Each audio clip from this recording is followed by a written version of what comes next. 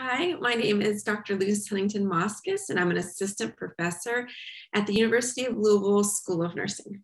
The Betty Irene Moore Fellowship is really focused on nursing as a discipline. And when you're a nurse scientist, you're really looking for that niche of where you can fit in and where you can really display your, your research ideas and how to move forward.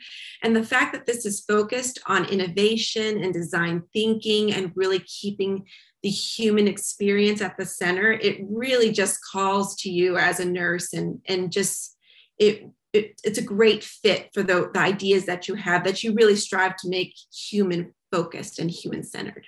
What are your initial impressions of your cohort?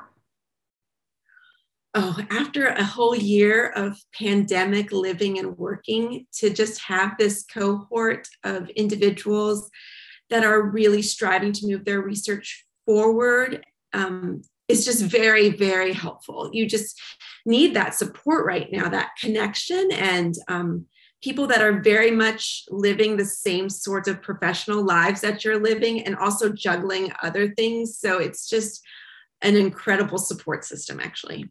Right when you are introduced to your cohort members and your peers, really, um, you find immediate connections and that's really gratifying and um, reinforcing. And then you're we're already two or three months into the experience and i'm already still discovering things. So it's it's a gift that keeps on giving. What unique lens do you bring to the nursing profession? I think the unique lens that i bring to the nursing profession has to deal with my area of research interest but also myself so, um, really, as a researcher, you are a vehicle for this, your perspective, what you bring to the table. I myself, as a Latina, um, my mom is a Bolivian immigrant to this country, and how I grew up bridging American culture with my father from the Pacific Northwest and my mother from Bolivia. I have a unique perspective to offer and also um, my interest in environmental health. I think looking at the world through that lens, how that impacts your own healthcare decisions, how you inform your decisions, and um, how you can really make that relevant to your day to day living. I think these are perspectives that are very needed in research and healthcare today.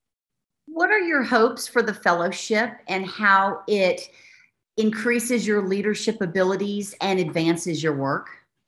My hope for this fellowship is really to um, continue to grow and to push my boundaries. Sometimes you don't know what you don't know.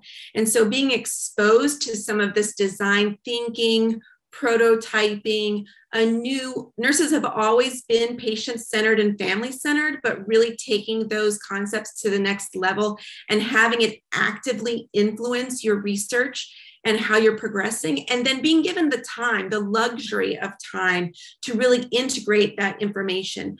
As a academic and a researcher you're given all kinds of exposure to professional conferences new colleagues new ways of doing things but given the time to actually integrate it in a purposeful way is an incredible luxury that i'm very excited about please describe for me your project and the challenge you're hoping to find a solution for my project is focused on adolescents with asthma. And I'm really interested in working with them in partnership to do um, report back strategies. So, report back is really the idea that I work with adolescents, they collect their data, and they bring the data to me and I analyze it and provide context for them. So I share their data back to them and we discuss it so that it can really have this personal relevance and inform their own decision makings. And this happening at the stage of adolescence, I feel is personally very important because it helps set a foundation for healthy adulthood and thinking about how environmental health will affect them as they grow into being adults. So I think this this work is really important because it makes science very personal and it helps to um, really impact daily living through environmental health and through making science and research very applicable to these adolescents. Are you excited about the next three years and what this fellowship is going to do for you and your work?